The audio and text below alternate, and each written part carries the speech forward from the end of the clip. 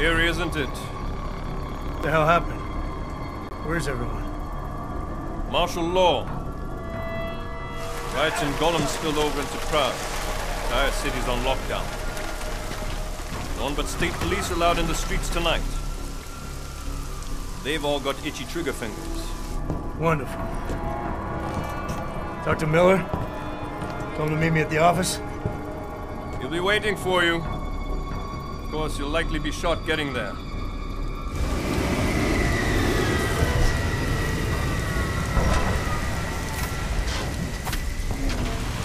Watch yourself out there, Jensen.